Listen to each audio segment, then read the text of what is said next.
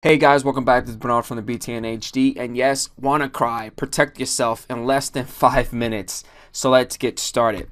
So what is WannaCry? It's a ransomware crypto worm which targets computers running Windows operating system, encrypting data, and demanding ransom payments in Bitcoin. Uh, why now? Well, WannaCry hit an exploit hole within Windows operating system uh, which Microsoft actually patched up around March 2017. The update was actually MS17-010.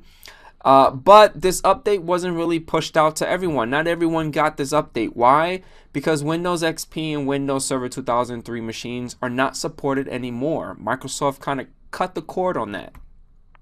Now, solutions. If you're already infected, I do apologize for you getting infected. Automatically disconnect your affected machine from your network. Uh, Kaspersky has a tool that you can use, which I'm going to provide the link at the very bottom so you guys can click on it, and it will try to remove it for you, which is a good thing. Another solution is if you haven't been infected, automatically download the patch from Microsoft. If you are running Windows XP because of legacy applications that you need to run, day to day for your workload, please download this patch, update your machines if you're running Server 2003 or XP. Now, patching is never enough. Now, these are a couple of things that you should be doing regardless if you patch your machine and it's healthy.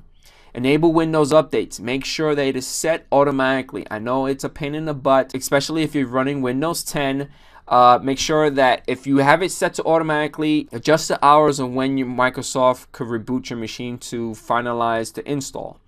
Back up your machine. Very, very important. That should have been my number one. Back up your machine. I did a video for you guys of how to create a system image. Follow that. Make sure you do that. Don't click on attachments within emails. If you don't 100% trust it or that individual that sent you that email with an attachment, if you wasn't expecting it, don't click on it. Don't download it. Turn on your local firewall. This is a must. I know firewalls is a pain in the butt if you're dealing with certain software or make sure you go inside there, configure it to work within your environment, but do not turn it off. This is in a corporate environment. Make sure that you block your TCP 139 and as well as 445 traffic because these two are SMB traffics, which uh, the ransomware kind of attacks. Run your antivirus and anti-malware software. Make sure it's up to date. If you have Windows 10, Windows Defender is automatically being up to date, you're good to go. But if you have other programs with Windows 7, Windows 8, make sure that your stuff is up to date. But last but not least, do not pay the ransom. Do not engage with them. Try to figure out other ways to get by it.